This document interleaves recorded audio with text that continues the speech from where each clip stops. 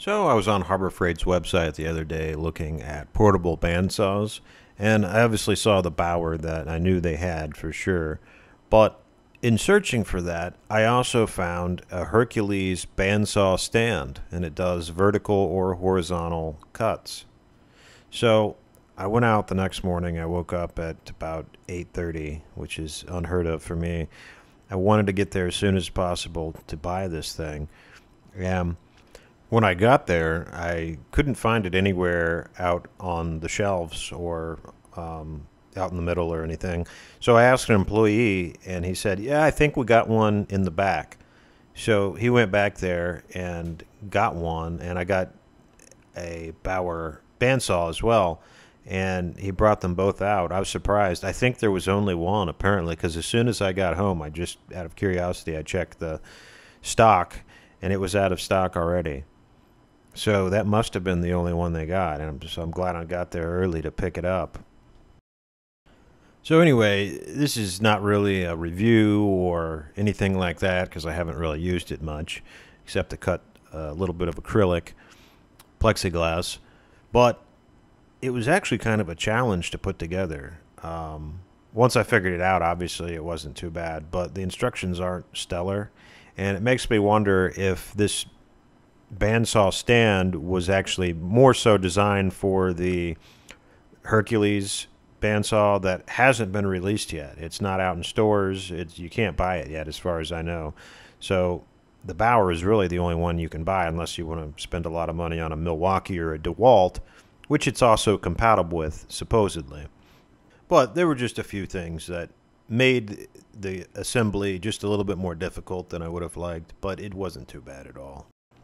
This vertical plate that they include for cutting things in the vertical position, like a vertical bandsaw, it's pretty thick. It's about a quarter inch thick, almost a quarter inch thick. And I was kind of impressed by that. I didn't expect it to be that thick.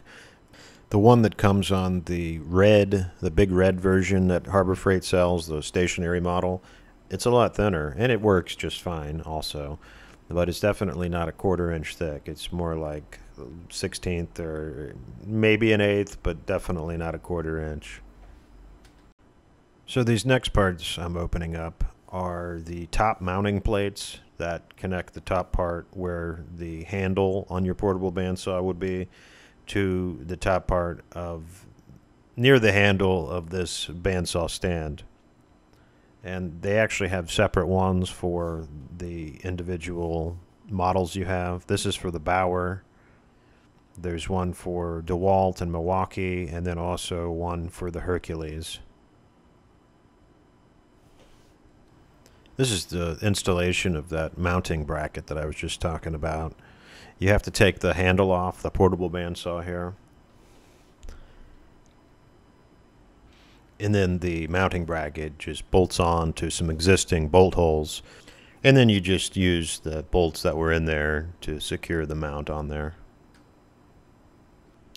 I found the best way to get the saw in there was to go backwards with the mounting bracket off the saw and then put the mounting bracket back in once you get the saw inside the stand and then attach the bolts for the mount to the stand. Keep them loose though so you can adjust it as you go along. This gas strut connection mechanism is actually pretty clever and works really well for removing it or putting it back on. It just kind of clips into place when you need it, or you take it off and use it as a vertical saw, and you can just unclip it and it just folds down into place. So the switch mechanism was one of the trickier aspects of this assembly. It wasn't terrible, but you have to have everything lined up and screwed in um, in the correct position before you install the switch, or at least that's what worked best for me. So you kind of slide it under there, under these those circular slots there, those holes. You get the threaded part underneath those holes. Screw that in, and you got to kind of get the other part into the on position behind the on position, if that makes sense. And once you get it in there, it actually works really well and it's pretty safe. This is the slot where you'd put a clamp. I'm surprised they didn't include a clamp, but also I'm kind of glad because the clamp that they recommend using is actually really nice and it was only 10 bucks, so that's no big deal. I actually bought two of them. They're the Pittsburgh 9 inch drill press locking clamps. They have a threaded rod there that you just unscrew and then you put that in the slot of a drill press or in this case the bandsaw stand. And the good thing is you don't actually have to tighten them very much. You can just hand tighten them at the bottom there and they hold in place from the pressure that you're applying with the the vise part of it.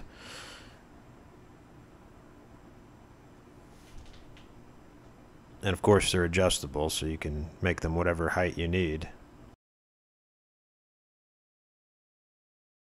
So, after I got everything adjusted and everything, I did a few test cuts. This is just a test cut in acrylic to see how well that would do. And as you might expect, it just cut through it like butter, but I wanted to see how square it was, and as it turns out, I got it pretty square. One thing to notice here on this cut, I had to take the blade guard off, and I didn't necessarily see that in the instructions. Maybe I missed it, but that's something you really need to do to make sure everything fits into place. Otherwise, it'll rub up against the edge of that uh, that stand there. Here's this off switch, on off switch. That's actually one thing I really like about it. It's really simple. Once you get it dialed in, though, it's kind of tricky to get it dialed in. But like I said, after I took that edge guard off, that blade guard off, it made things a lot simpler in terms of aligning everything and making sure it was straight and everything fit together.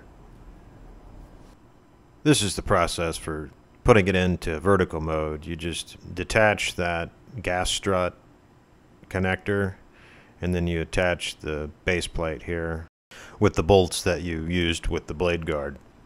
This is how the manual recommends you use it in its vertical orientation. There's two bolt holes at the bottom there for you to screw it into your workbench. And then I guess you're just supposed to let the other part hang off there. I don't really prefer it that way, but I just kind of wanted to see what it looked like.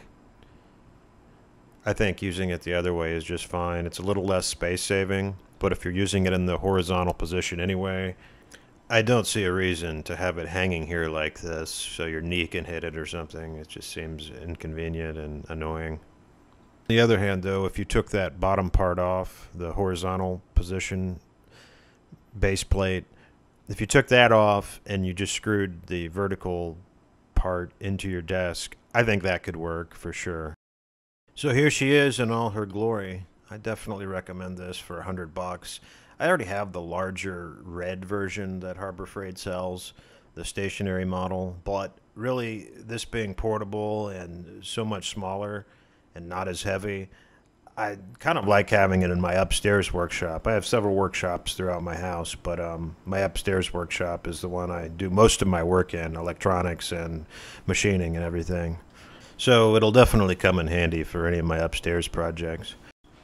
I don't aim to be a review channel or an assembly channel or anything like that. It just happened to be that this was a new product that didn't have any videos out there already, so I thought I'd make one. And most of my other videos are me making things or things that I've made.